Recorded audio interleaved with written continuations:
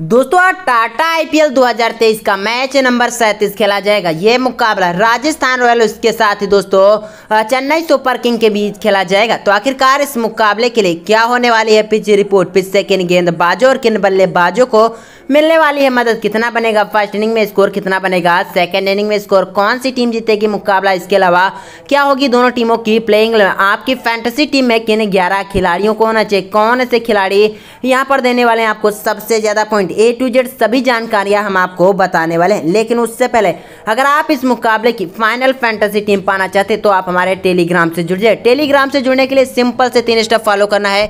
Video के नीचे मोर का आइकन नज़र होगा उस पर आप टाइप करेंगे डिस्क्रिप्शन ओपन होगा वहाँ पर दोस्तों हमारा टेलीग्राम का लिंक मिल जाएगा। जैसे आप उस लिंक पर टैप करेंगे तो दोस्तों official telegram talent tracking cricket पर पहुँच जाएँगे। तो उसे ज्वाइन कर लीजिए दोस्तों, वहीं पर आपको इस मुकाबले के लिए फाइनल फैंटेसी टीम मिलने वाली है। तो आशा करते हैं आप लोग टेलीग्राम से जुड़ गए होंगे। तो आइए बात करते हैं इस मुकाबले के बारे में। लेकिन दोस्तों, उससे पहले आप लोग कमेंट करके बताइएगा कि आपके हिसाब से ये मुकाबला कौन सी टीम जीतने वाली है। तो इस मुकाबले की बात करें तो आईपीएल का सैंतीसवां मुकाबला राजस्थान और चेन्नई के बीच खेला जाएगा। ये मुकाबला 27 तारीख को भारतीय समय अनुसार रात्रि साढ़े सात बजे से राजस्थान के home ground Sawai Mansingh stadium में खेला जाने वाला है। तो आइए आगे बढ़ते हैं और बात कर लेते हैं सबसे पहले इस मुकाबले के लिए वेदर रिपोर्ट के बारे में। भाई साहब, वेदर रिपोर्ट की बात की जाए ह्यूमिडिटी बत्तीस है, रैन के कोई चांस नहीं, यानी कि बिना किसी रुकावट के हम लोगों को ये मुकाबला देखने को मिलने वाला है। इसके अलावा टेम्परेचर की बात की जाए, दोस्तों, इस दौरान टेम्परेचर उन्नीस डिग्री सेंटीग्रेड के आसपास बना रहेगा मैदान पर। तो इस तरीके का वेदर है। इसके अलावा आगे बढ़ते हैं और बात कर लेते हैं सबसे पहले दोस्तों यहाँ पर पिच रिपोर्ट के बारे में। पिच रिपोर्ट की बात की जाए लास्ट दस मुकाबलों की बात की जाए तो कुल 103 विकेट गिरे जहाँ पर 60 विकेट पेसर्स को मिले और उसके साथ ही तैंतालीस विकेट स्पिनरों को मिले।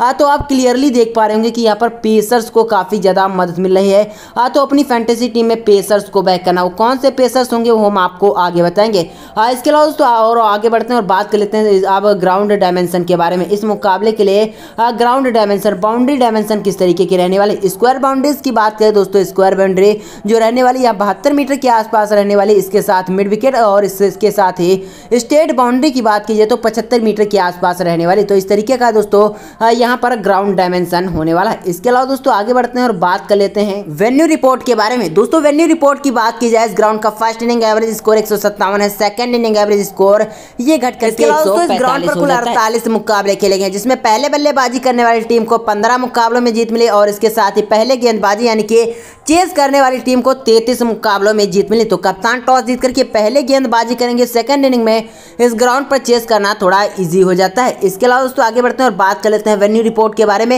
इस ग्राउंड का हाईएस्ट स्कोर दोस्तों, एक दिल्ली कैपिटल्स के द्वारा बनाया गया है। इसके साथ ही सबसे कम स्कोर दोस्तों, साठ है। ये भी दिल्ली कैपिटल्स ने इस ग्राउंड पर बनाया। इसके साथ ही सबसे तगड़ा चेस यहाँ पर हाईएस्ट चेस की बात करें तो दिल्ली कैपिटल्स की टीम ने एक चेस किया। इसके साथ ही लोवेस्ट डिफेंड की बात की जाए तो भाई साहब लोवेस्ट डिफेंड इस ग्राउंड का एक है। तो इस तरीके का यहाँ पर वेन्यू का रिकॉर्ड है। इसके अलावा दोस्तों आगे बढ़ते हैं और बात कर लेते हैं इस मुकाबले के लिए की प्लेयर्स के बारे में कि आखिरकार दोनों टीमों से कौन से की प्लेयर्स हो सकते हैं। तो सबसे पहले बात करते हैं आरआर के बारे में। आरआर की तरफ़ से एसएसवी जायसवाल, बटलर, रविचंद्र, अश्विन चहल और और इसके साथ ही ट्रेंट बोल्ट तो ये राजस्थान की तरफ़ से की प्लेयर होने वाले, चेन्नई की तरफ़ से कॉन्वे रहाणे और इसके साथ ही जडेजा और मिचल सेंटेनर होने वाले। तो ये चेन्नई की तरफ़ से की प्लेयर्स होने वाले इसके अलावा दोस्तों, आगे बढ़ते हैं और बात कर लेते हैं दोनों टीमों की प्लेइंग इलेवन के बारे में। भाई साहब प्लेइंग इलेवन की बात करें तो सबसे पहले बात करते हैं यहाँ पर राजस्थान के बारे में।